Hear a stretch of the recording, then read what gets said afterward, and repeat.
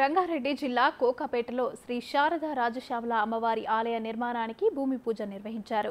తెలంగాణ ప్రభుత్వం కేటాయించిన రెండు ఎకరాల స్థలంలో ఆలయ నిర్మాణానికి స్వరూపానందేంద్ర సరస్వతి చేతుల మీదుగా పునాది రాయి వేశారు.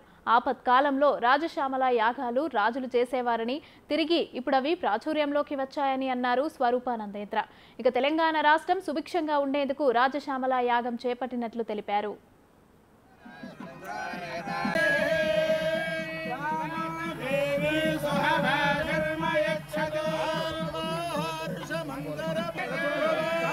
Mahathir.